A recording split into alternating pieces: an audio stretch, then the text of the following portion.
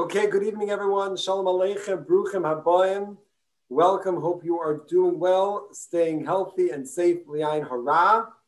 Great to see you all, and a special welcome to our soulful fireside chats this evening, and a super special welcome to our first guest, Bruchim Habayim, Rabbi Bashevkin. Can you see me and hear me?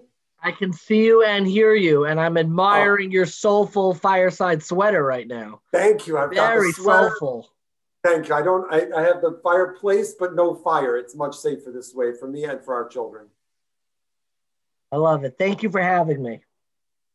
Thank you so much for joining me and for joining us back here in Chicago. I know it's uh, one of your stops on your world tours. Rabbi Bashevkin, for those who don't know, is Director of Education for NCSY, as well as many other incredible hats that he wears. Uh, comedian extraordinaire, oh, talented author, educator, professor at YU, Marbitz Torah, expert in sin and all kinds of averos, right? The author of Synagogue, great book on making ourselves feel better that we're all imperfect, but that's okay in the eyes of the Bonus Shalom.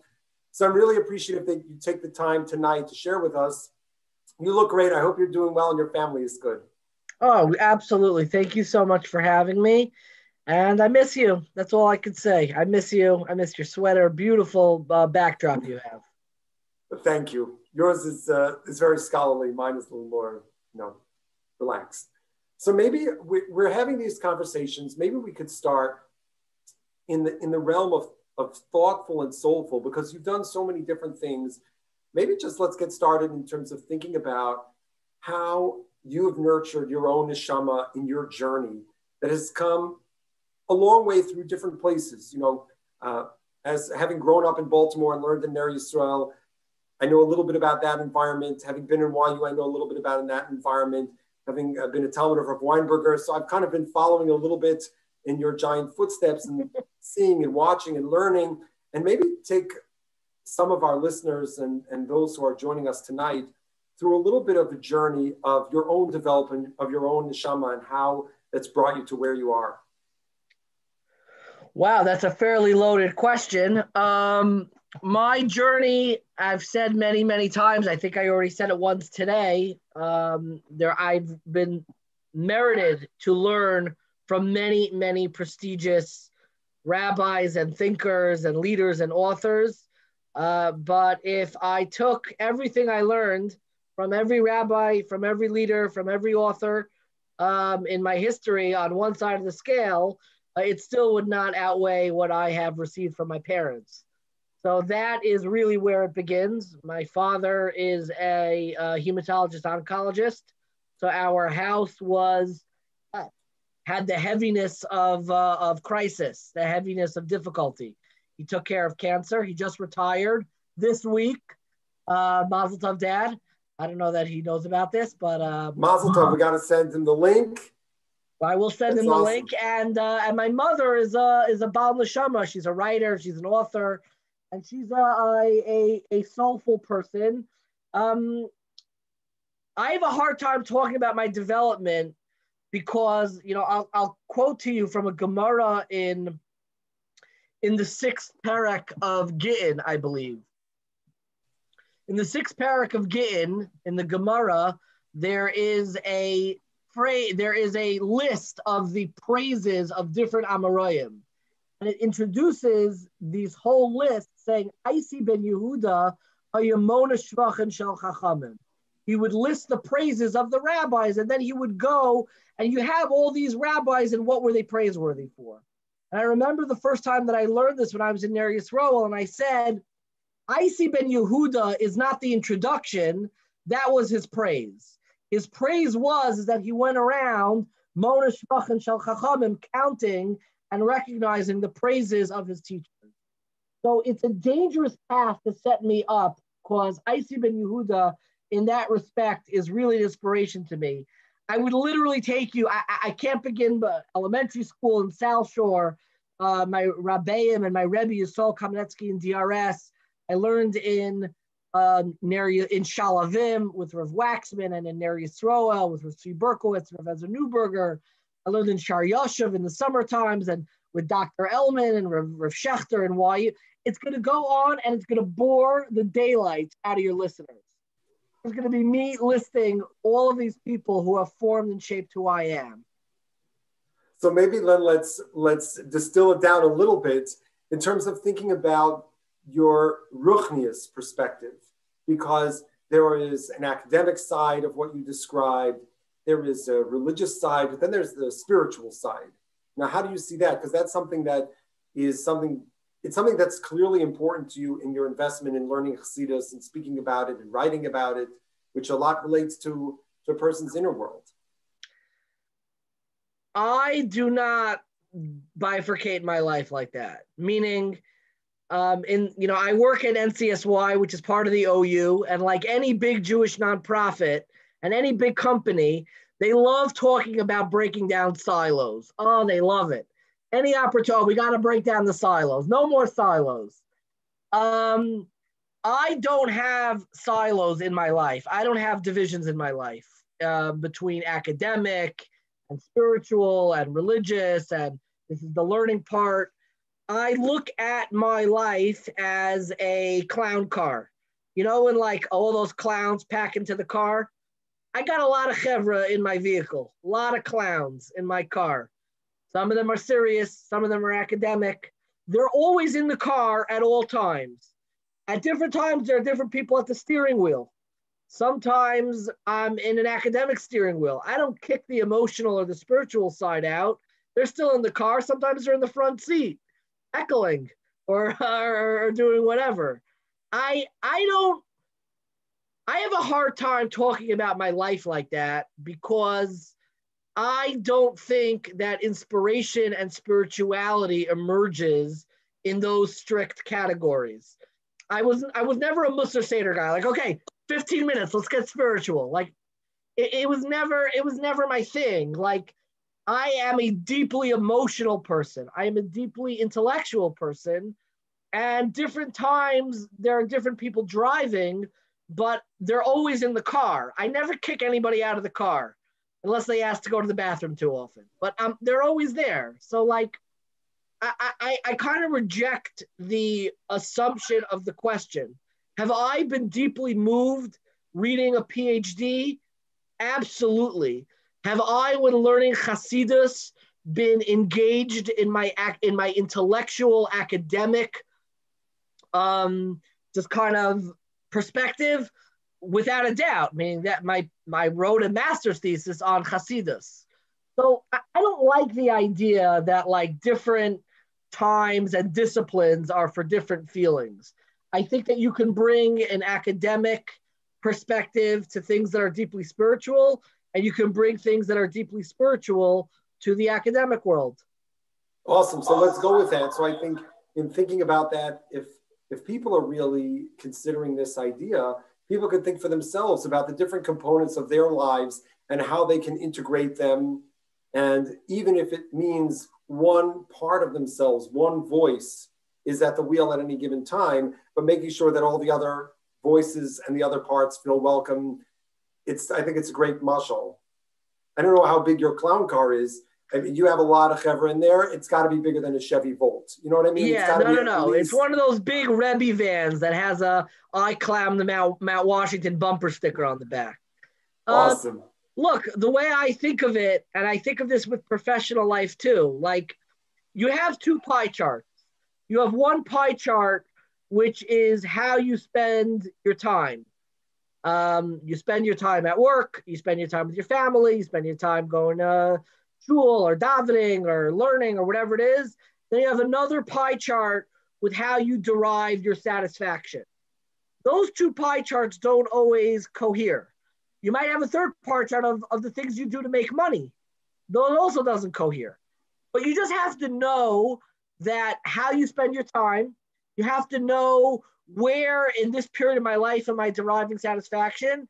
And at some place, depending what age you are in your life, you should, you know, keep in mind, you know, what is actually paying the bills? Who, who, you know, who, who do I have to report to on this specific initiative? And I think all those are important. That's awesome.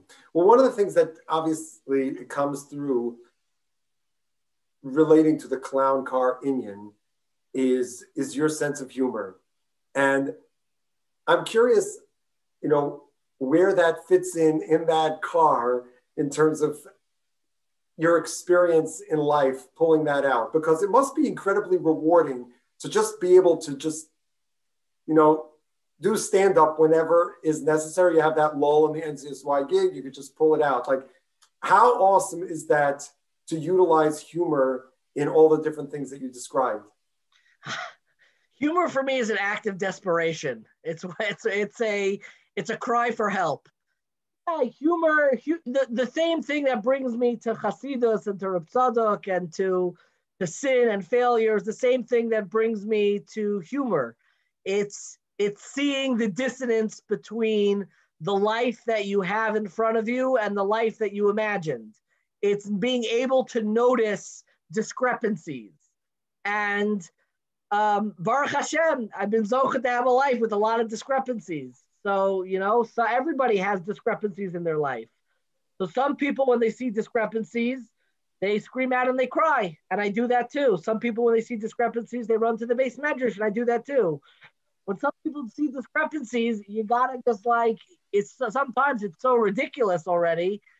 You're you're left with almost no other choice than to make a joke. And once you learn how to do that and see those little minutia that you know lurk in the crevices of our everyday life, um, you really learn to uh, to develop that sense of humor. Can I call you out? You pulled two George Bush at the debates just now. You know why George Bush in 1990 lost the debate? It's not 92. No, let me hear. With Clinton? Is this, is this live? Am I allowed to do this? This now? is live. This oh, is live. Get in trouble. In no, let's go in 92, George Bush, when he was talking, when he was debating Bill Clinton, somebody got up and asked a question about the economic crisis. And, and George Bush, before he began his answer, he looked at his watch. He said, When the heck is this going to be over? And then he started answering and he lost the whole room. And Bill Clinton, as you know, his ability, he's like talking to every person. You're checking your watch too much, brother. I love you. You don't have to invite me back in. Am I in trouble? I don't want to. No, I just want to make sure that I'm. I want to leave time for 1840. I want to leave time for oh, humor. You're too I, sweet. You don't no, no, no. I got we got a budget. So we have a half. I, I can do this like we could go like an hour and a half. It wouldn't be a problem. But I got to budget my time. I got to watch. You got a budget. You got a budget. You got a budget. I'm, I'm on a budget here. This is the story of my my life. So any good bits that you just love to come back to? I was recently in Newark Airport for an 8:20 a.m. United flight to Chicago, where we had two minyanim. There was the Vasikin minyan and then the second minyan.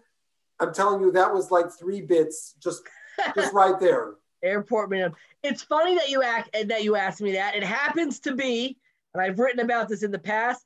I have a shita that I don't write. I'll make jokes, not live on a YouTube I don't make jokes about davening. I davening is off limits to me. If I wanted to, I could make jokes about the shuckling and all the things that are happening.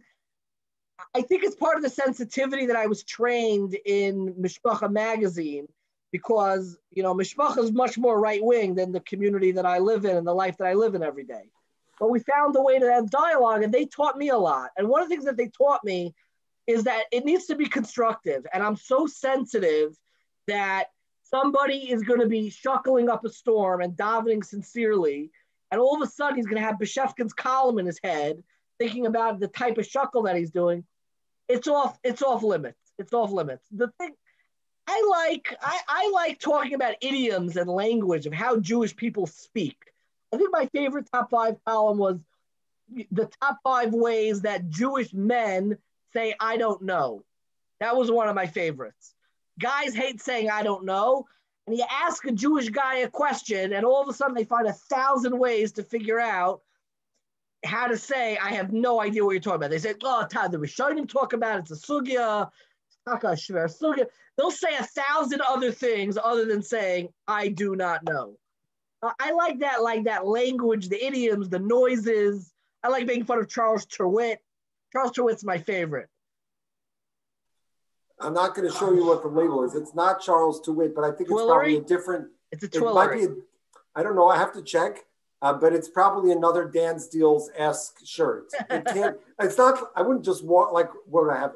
I mean, I would walk into a store and buy a shirt. I wouldn't even know what store to go to. how would I know? I mean, if it's not on Dan's deals, how, how would I know where to get it's it? It's a sensitive subject because, again, I don't want to get into the nitty gritty details, but my heart tells me that you and I wear very different shirt sizes. And it is always with a great deal of pain.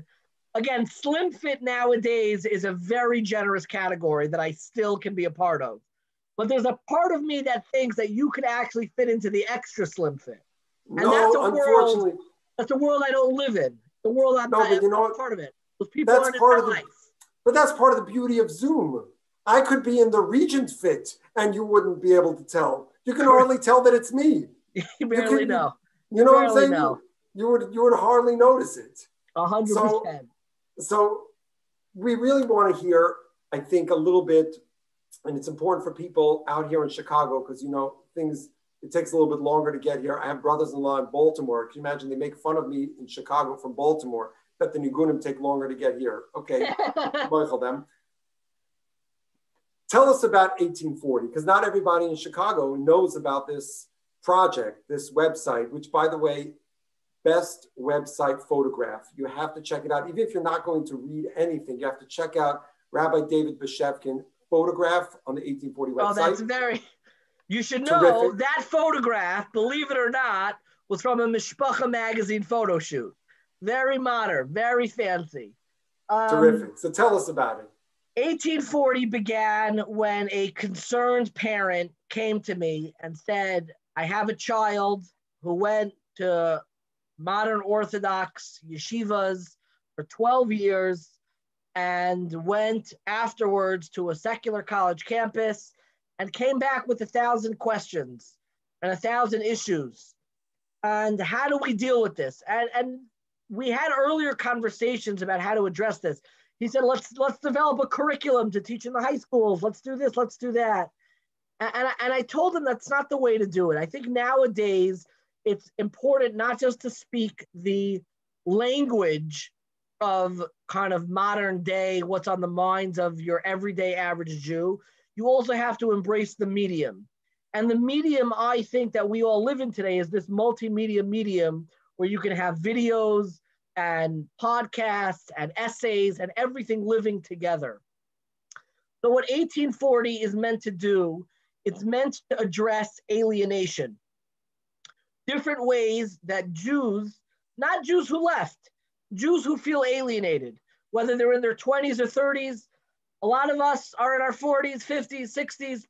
There's a sense of alienation that derives from three places. We have theological alienation, where there are questions about Torah, the development of halacha, and um, the the you know big questions about God that never got satisfactory in a satisfactory way addressed. That's theological alienation.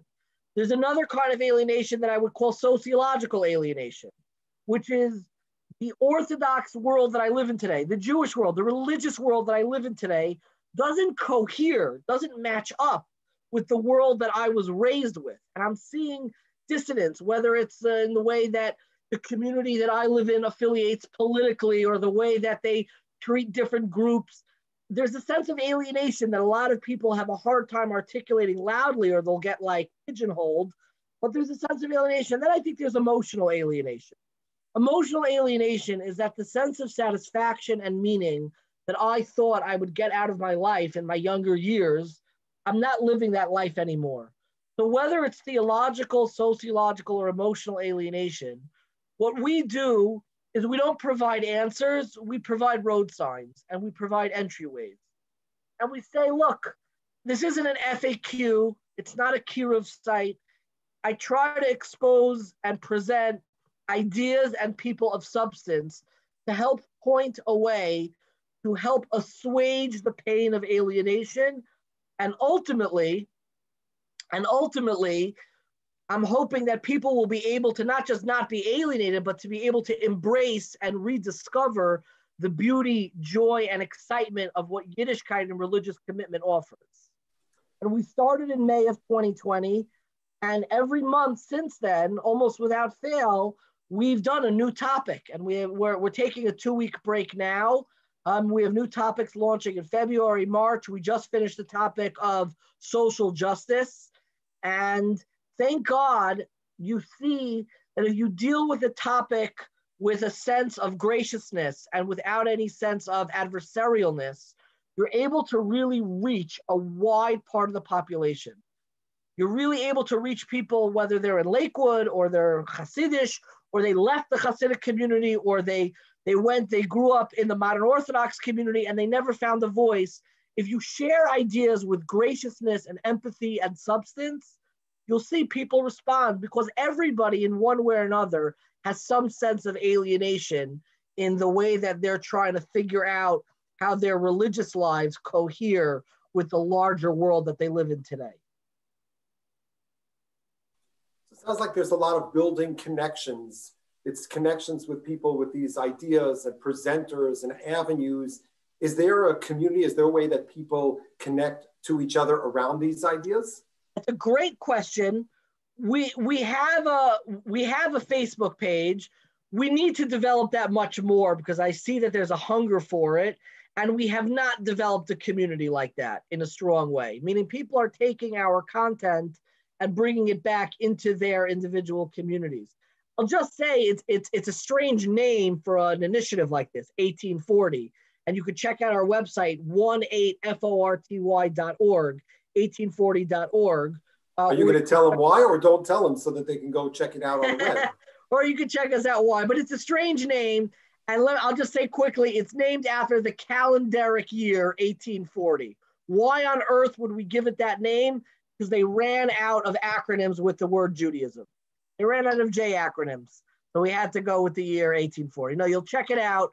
Um, and there's really an amazing story behind that. Okay, so now let's circle back the remaining time that we have to talk about NCSY. Amazing programs that over the years that you've created, but now we're in a totally different environment. Whereas in normal times, NCSYers and advisors, they would have in-person interactions. There would be latte and learns or public school clubs or Shabbatonim. And a lot of that can't exist in the current climate. So what are ways that NCSYers and their advisors are doing to connect and what are you providing them with from an educational standpoint to enable them to to thrive despite the challenges. Just uh, you know, Rabbi Greenland does live here in Chicago. He may Uh-oh. hear about this, so just be mindful. Just saying. I know I'm extraordinarily mindful. Chicago is the headquarters of National NCSY, and uh, it's a close to even talk about NCSY in the Chicago area. I I think that the main thing that we have done is we've literally started with the end. And let me explain what that is. You know, Corona placed um, difficulties on every family, every individual, and definitely every Jewish organization. And the challenge that it placed on NCSY is at the beginning of most people's NCSY journeys are these amazing events that we run a Shabbaton, a Yarchei Kallah, a summer program. And then in an instant, that beginning was vanished in a moment. We didn't have that portal. So, what we basically have done, and really in a way, it's taught us something really amazing about the trajectory of the teenage religious experience, which is let's start with the end. What's the point of all these Shabbatons? What's the point of, of all of Yarchei Kallahs in the summer program? It's to form an individual one on one sincere connection with a teenager. And what we've done is we've shifted our emphasis. If we can't have mega big events, then we're going to have mega small connections. And what we've done is we've invested extra resources to enhance the one on one relationship between teenagers and their advisors and their staff. Because what we have found and what we've really known all along is that the magic of religious growth and spirituality, it's propelled in these mega moments like Havdalah. But what sustains them are these individual connections and that sincere one-on-one, a chavrusa, a phone call, a connecting with somebody in a very real way. And that's where we've emphasized. So we've sent out materials, forum, boxes. Everybody's doing boxes we did boxes way back in Shavuos of last year. but sending out things to foster and cultivate mega small events instead of mega big events. That's awesome. I don't know. Did anyone's, uh, we're talking about Eden here. So did anyone's box come maybe a little bit damaged? Did they call for a refund? How did that go on Shavuos? I know you sold a few. Is this a, polite way? Is this a polite way of asking for a refund, Rabbi Brand? Are you? Trying, I want you to know. Do we, we owe you thirteen dollars for your box? No, but you should know that the cards that you gave me when we got together last May in Teaneck in the bagel shop uh, over Yontif we went through all of the cards with our kids at the table. You know, both sides, the all the decks box, of cards. Sure. The NCSY box right here in Skokie, Illinois, on Arcadia, with our kids, teenagers, little. We did it all. We did the entire NCSY box. So you should just know that. that. at least one person actually did it.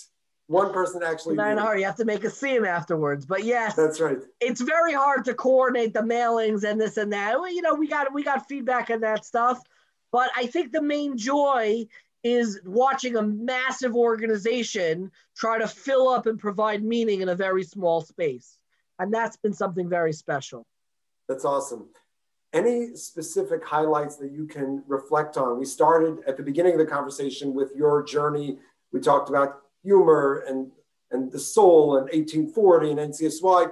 Any highlights that you feel like are really important as you're growing and as you're reflecting back on where you've been and where you're headed that people can be inspired by, whether it's maybe a shalashudis that that you took with you at some point or a, a point of inspiration that people can feel even if they never had it but they if they understand it if they hear it from you they can envision in their own mind and say hey well i can hear how that person would be inspired by that. I can seek my own inspiration.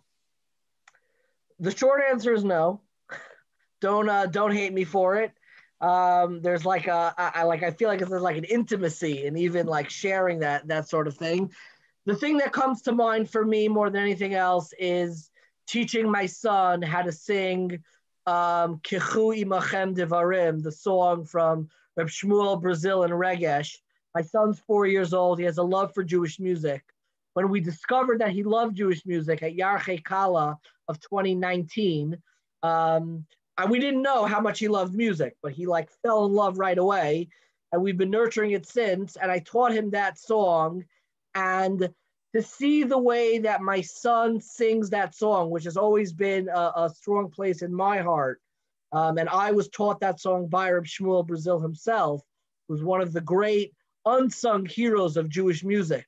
That the Jewish community, I wish, uh, paid more attention to old school Regesh. When Jewish music Regesh, yeah, that's the '80s. I mean, maybe when, some people are. When, that's when Jewish music was. Oh still, yeah. You know what I mean?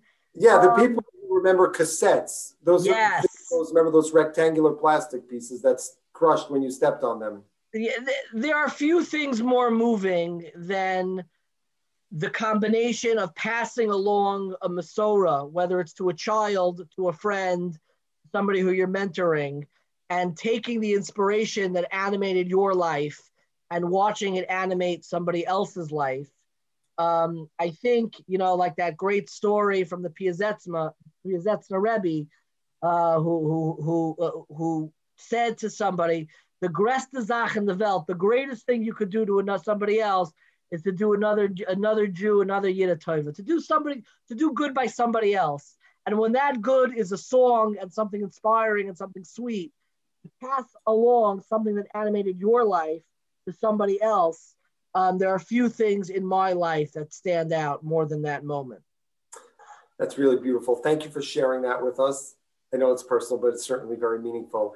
And thank you for taking the time to join us tonight. And everybody is welcome to continue to learn with Rabbi Bashevkin, to laugh, to be inspired, to grow. Check it out on 1840. He has every potential platform, social media, Twitter. I don't I don't know what else is out there. Uh, Dbash Ideas, 1840.org. It's all, all, there. Over, but it means a great deal to sit with you and connect with you at Amir Hashem, whether it's in a bagel store in Teaneck or in the in, or in, in Romanian right here in Romanian. Or Romanian in Chicago. It should be in person together with a little bit of food. And uh, I miss you, brother, and thank you so much for uh, for connecting tonight. Thanks Take so care. much for taking the time. Be well. Great to see you. Have Take a great care. night. What a very special guest joining us this evening. a special zechus to have Rabbi David Bashevkin. And now our next guest. Can you see us and hear us, Rabbi Sprung? Shalom, Harav. How's it going? Ah, Rabbi Yitzi Sprung, Assistant Rabbi, Congregation or Torah, Rebbe Ida Crown Jewish Academy, close personal friend, and resident Kollel alumnus right here joining us. I apologize. I'm having a little trouble hearing you. I'm going to try to. Uh... You can't hear me? I can hear you and see you fine. You look great, and you have a terrific background. I see the sefarim. Oh. It's all good. Can you hear me better now? I also noticed that you put the Yad Peshuta right, like next to your head, so you've got a little Rav Rabinovich in the screen. So we'll get we'll get there in a minute.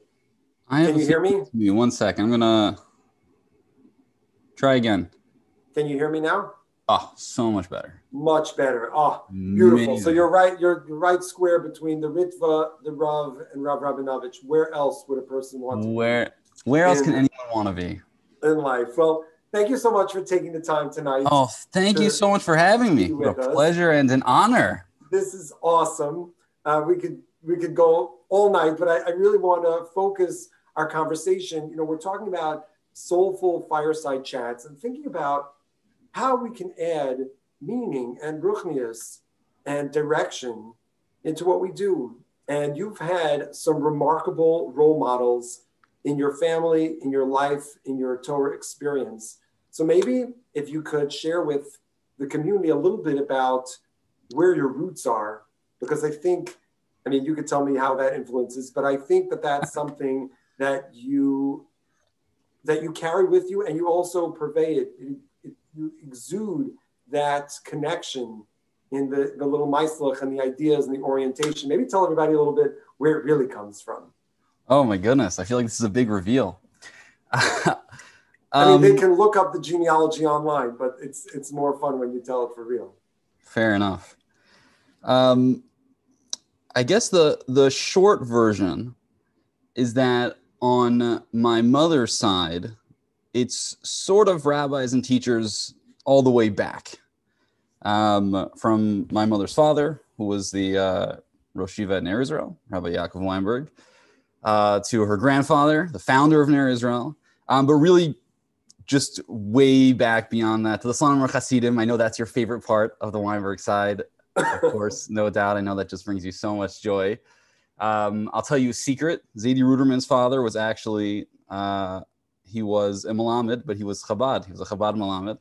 Really? Is that is that part of the Australian connection? Did you drop that name when you went there, or not so much? You know, for uh, those who don't know, Rabbi Sprung no, I don't think that was uh... spent some time in Australia, learning in Israel, in New York. Um, but maybe tell everybody a little bit about who Rav Ruderman Zecher Tzadik Levracha was, and also Rav Weinberg, because many people are not necessarily familiar with who he was and what he did in sure. building Torah in the United States coming from America. Sure. Um, so first of all, as you say, on the one hand, my family, my family tree exercises a great influence over who I want to be, how I see myself, how I exist. On the other hand, I'm named for my great grandfather, which would make it obvious enough that I never met him. Um, my Zadie Ruderman was a very great illui, an extreme genius. Uh, they, they say that his father used to take him for very long walks uh, when he was young to make him first memorize Tanakh. He would just review Chumash and Nach over and over. Um, and then that grew into Mishnah and then Gemara. And he really, really knew everything. He took the pin test. Uh, there's no exaggeration. He actually knew everything. Um, and he became a very close Talmud of the Alter of Slobodka. Um, the Alter was sort of a father figure to him. And he was, I, I take it, I, am given to understand, he was uh, considered to be a very great Talmud and, uh, and a, a, massive Talmid Chacham there in the yeshiva in Slobodka. And when my great grandmother saw things turning the wrong direction in Europe, so he went to America, and along with his father in law, they actually founded a yeshiva first in New Haven, Connecticut. They moved over to Cleveland, where they had a yeshiva for a little while. And then he decided to found a yeshiva called Ner Yisrael, named for Rav Yisrael Salanter, who was the founder of the Musar movement, who was the inspiration for the Slobodka Yeshiva and other Musar yeshivas like it. Um, and his goal was to make an even greater yeshiva than Slobodka, which is a legendary place. Um, but he was very ambitious. And when he started, there weren't so many yeshivas in America. Um, it's not a small feat. That's amazing. And Rav Weinberg, uh, also a, um, a Rosh Yeshiva. So you have a lot of Torah luminaries who you look up to. And I think that's something that is, is why it's, it's worthwhile for us to think about, even if we don't come from, you know, rabbinic families, to make sure that we have rabbinic role models. That's why I wanted to shift for a second for you to talk about maybe a rabbinic role model who is not a family member of yours, but somebody who you connected with intellectually and personally, who has influenced you, who people should get to meet, even if they have never heard of this particular person. Maybe you want to take us on a, a journey to a small hilltop outside of Yerushalayim. Oh, I would love to.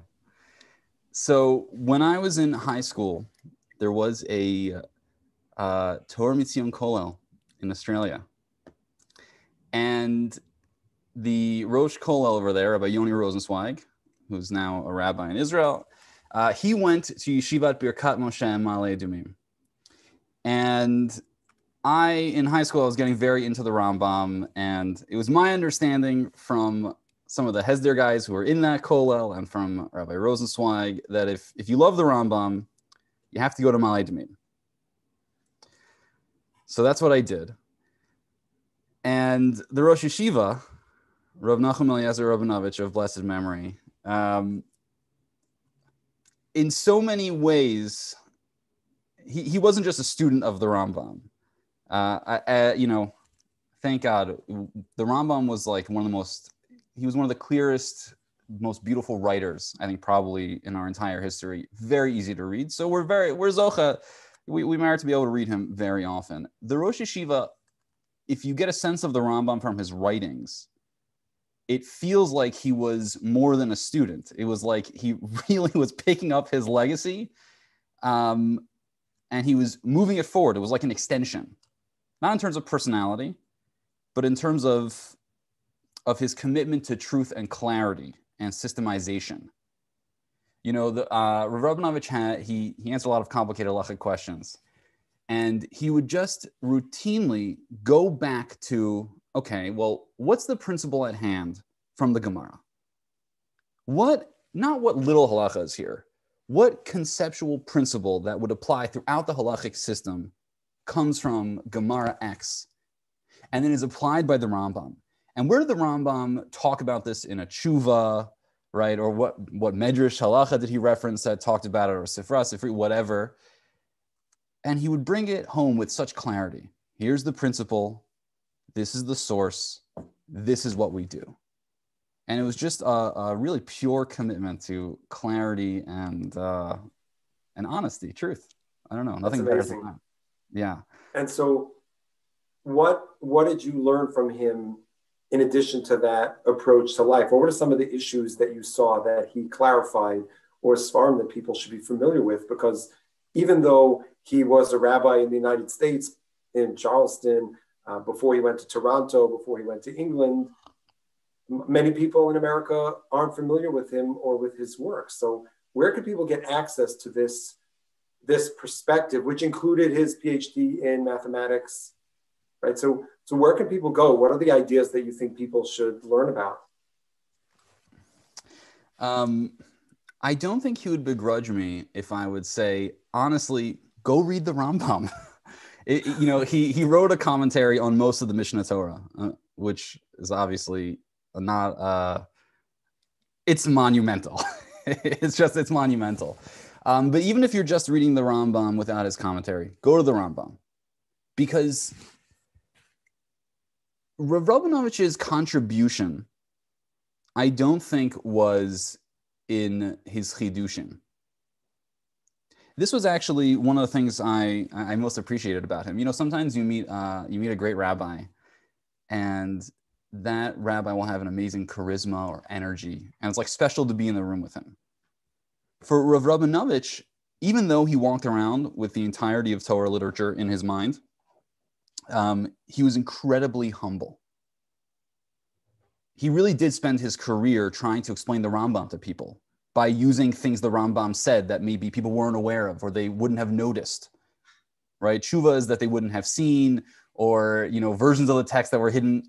His commitment wasn't in his originality or in his charisma.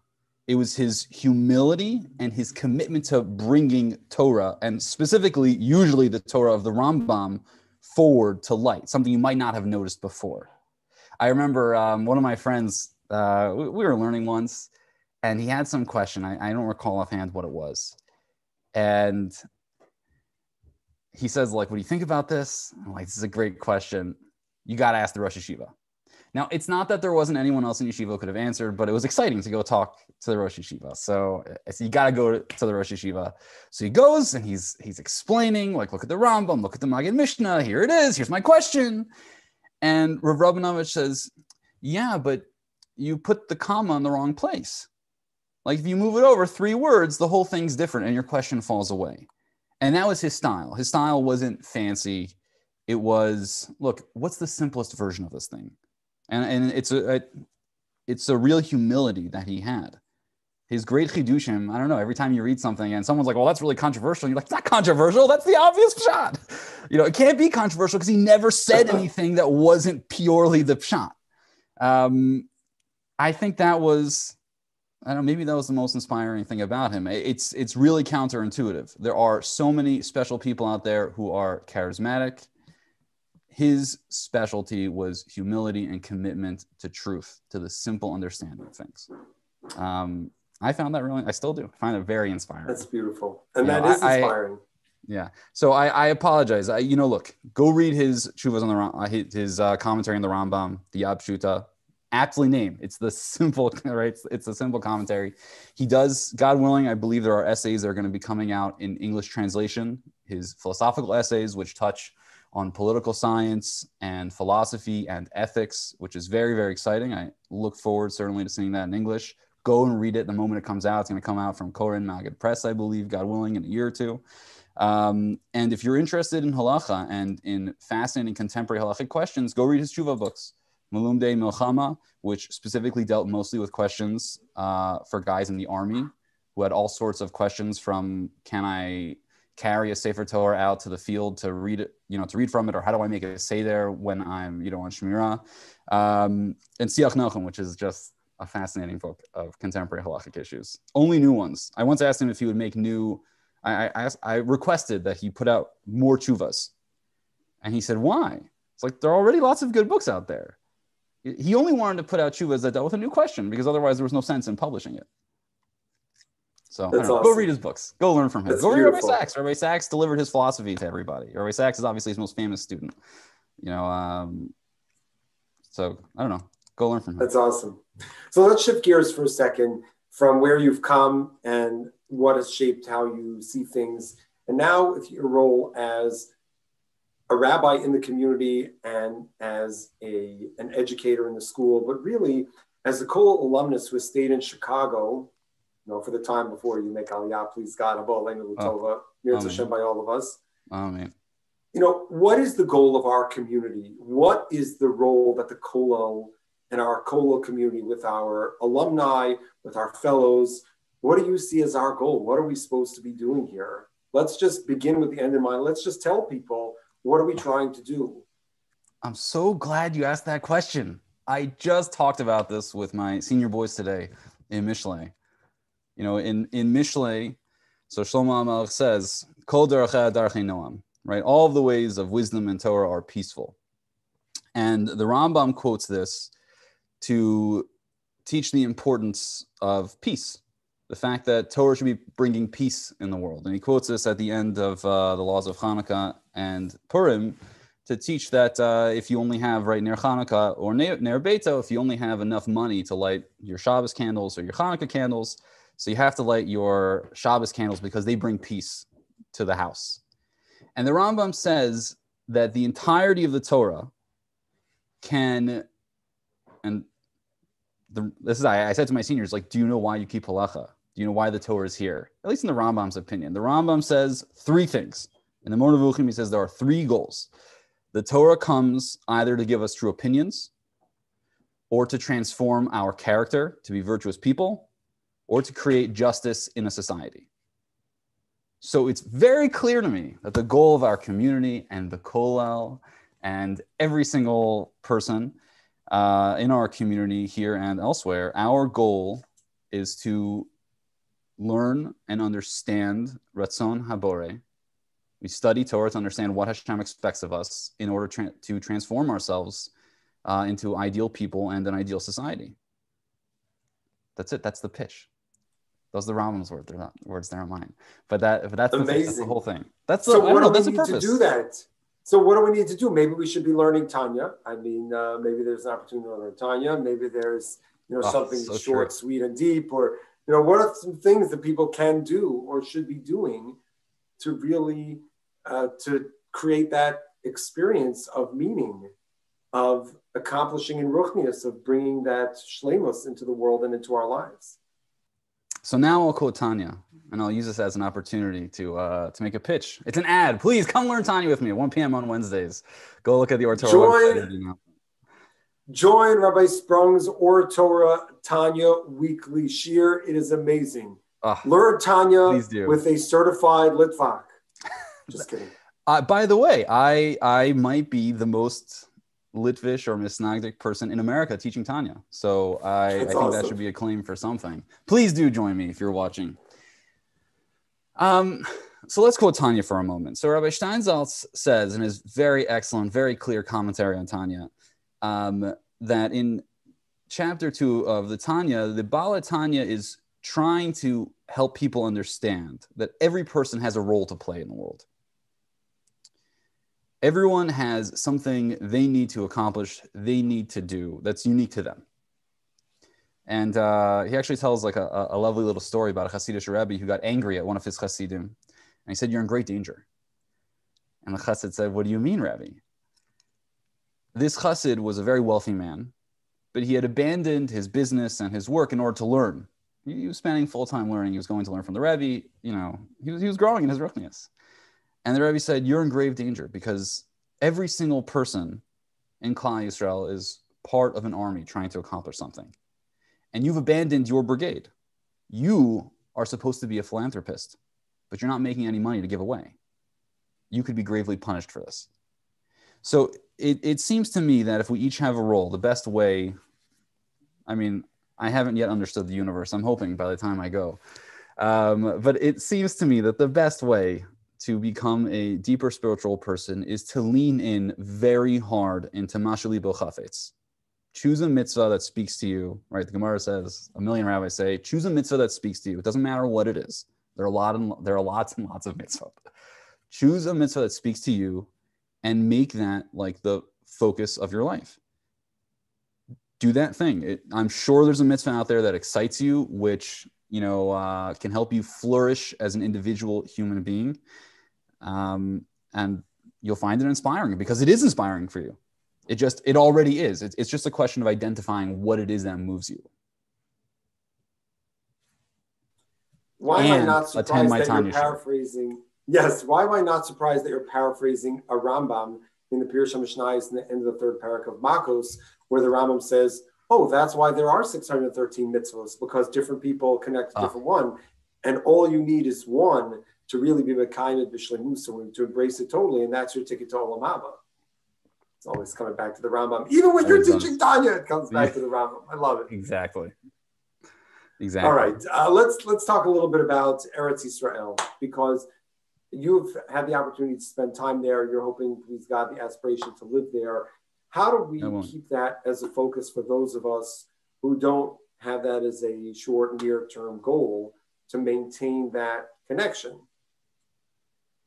Um, you know, that's a great question. I am not certain that every single person, I know this will maybe upset or disappoint some people. I'm not I'm not so sure that every person needs to be focusing on living in the land of Israel on every given day or at a given moment. Um, you know, uh, uh, just just to borrow from what we were just saying, you have to have a mitzvah. That mitzvah has to be the overarching theme of your life. So for a lot of people, it's proper chinuch for their kids, right? They get up in the morning, they're trying to raise their family properly. That needs to be their main focus. Um, so I don't think I, am not. Uh, let's say I'm not committed to the notion that we need to be walking around with terrific guilt if we're not yet able to live in the land of Israel for one reason or another, and there are lots of good reasons. Having said that, I am absolutely terrified by the notion that people no longer would feel like they're part of a Jewish people. The idea that someone could be so individualistic that they no longer feel like they are one part of a larger family whose home is in Israel, that goes against what Judaism is we're supposed to be members of a broad nation, a broad family. Uh, we need to view ourselves that way. It's part of our identity.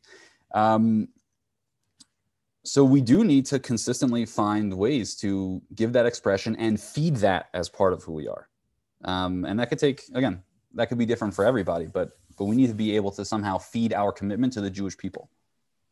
Can't let that sit. So right. So the idea of connection to Eretz Israel, it's not necessarily just, and certainly you see this a lot in the writings of Rav Kook, it's not just the land per se, but it's the land connected to the idea of the Ummah, the nation, the collective family, something bigger than just ourselves. Well, uh, because we're making a habit of only saying things we've already said, um, you know, what gives Eretz Israel a special kedusha? So the Rambam that's, says that. Well, that that's quite a loaded question, isn't it?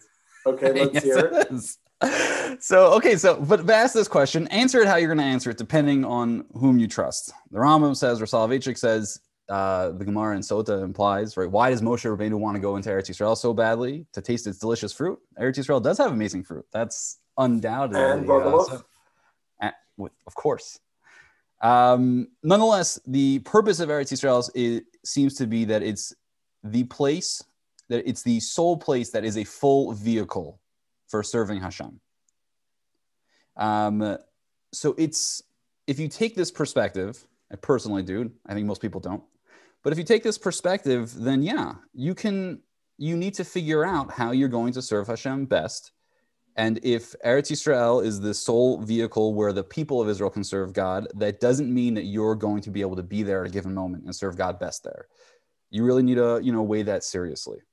I remember I heard a great comment once uh, in our Schachter's name that if there was a choice between raising your children properly to be Shomer Torah mitzvot and Yerushalayim and going to Israel, there would be no doubt that chinuch would come first.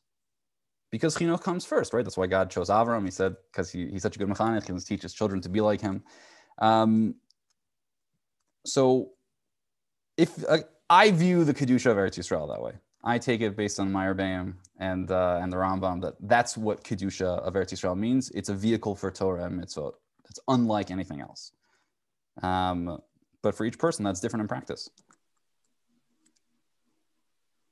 My hope is is that everybody's going to be able to find that that way, that personal connection, that that the same that each one of us can find that unique connection. And it's probably true not just in the world of mitzvahs, but perhaps in the world of learning, right? Some people are going to connect to different aspects of learning than than others. And that yeah. perhaps part of what you're saying is that we should feel good about that, not bad. You know, if you're inspired yeah, by one part of Yiddishkeit, we shouldn't be constantly looking over our shoulder and be like, well, I can't believe that guy does pre-Shabbos Ruach and that guy does like, you know, the best Tisha B'Av morning. Like it's not really relevant, right? It's really about me and my connection to HaKadosh Baruch Hu on an ongoing basis. 100%. Though, can I say something just on the other side? Yeah, please. Because it's it's Rambam Philosophy Night here at the Soulful Fireside Chat. I think is that is that fair? it's it's Rambam Philosophy Night. So the Rambam says, I feel like you know I gave him more Nevuchim shiur last year. It's like it's too late, people. You can't join it. Come to my Tanya shiur. But the Rambam says. One second, is it recorded? No, I apologize. It's not. It's not if there's such a clamoring, I'll do another one. All right. so the uh, the Rambam says in the Nevuchim that the primary cause of pain and suffering in this world for for us for people is that we pursue things we don't need. We get things that we don't need, or we can't get things we don't need. And either it's very painful that we can't have it, or when we get it, it's bad for us, right? Just uh, imagine that piece of cake that we all have and we shouldn't, right? So I one think. Or two. Yeah. one or two pieces? That's exactly right. Sorry. Uh, I think that there are different reasons why we might not live in Israel. If we're honest with ourselves as a community, we are the richest people ever on the face of the planet, ever. If the reason we're not living in Israel is because we can't for family reasons or chinuch reasons or Torah reasons or whatever, I get it, obviously. But if it's our materialism, then we should probably be honest with ourselves. We are struggling with the materialism addiction. Um, and it's not good for us. We just need to be honest with ourselves. If that's really what it is, and this is easier said than done, okay? You know, it's a fantasy to go li- live in Israel and be a rabbi there. So I, I get it. I'm not the poster boy for sacrifice. Um, but if that's what's keeping us, who knows? Maybe, maybe we'd be a whole lot happier if we could make that happen for ourselves. And that's the purely selfish. That's the purely selfish reason to move, just because we'll be better off.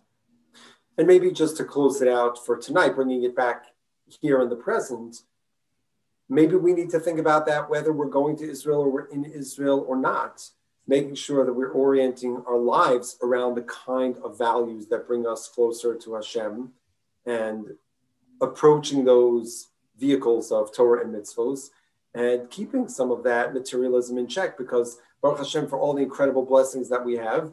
Yes, there are many people and we need to be machazik them who during this particular takufa of the pandemic are really, really struggling. But as a whole, I think it's important to constantly be self-aware of the difference between what you said of what we need and what we have and what we want. And how do we make sure that we keep coming back to what's meaningful and what we need rather than keeping up with whatever materialistic standards are being promoted, especially and accentuated online. Yeah. Can, can I um, can I just say one thing I've been drawing a lot of inspiration from? I would love for you to say that, and that will actually, because it's something you've been just drawing inspiration from, it'll just end this evening, take us into Erev Shabbos in Ah. the most magnificent way. So why why don't you please close out this hour, this soulful fireside chat right here live? I mean, I could probably hit your house with a really good Yeah. football throw, but so I'll see you after. just let's uh let's wrap it up tonight. This beautiful house to house chat with Oh. with an important message. Um, I have the privilege of teaching Torah to adults at Shul, to teenagers at the academy. I I just have to tell you because a lot of people are upset and depressed for many reasons, good reasons. If you go into a room where there are people who are gathering to learn Torah, it's going to make you happier. I'm I get to be in a good mood all the time because it is inspiring. People are literally coming on Zoom or going to shul or whatever just to learn Torah. And it's totally transformative and it's exciting. I have drawn much, much joy and inspiration from it. Um, if you if you do it, if you feel sad about the world right now, go go to a shiur every day. You'll feel happy about the world because you'll see it's really going in the right direction. So that's my chizuk. I'm telling you, try it.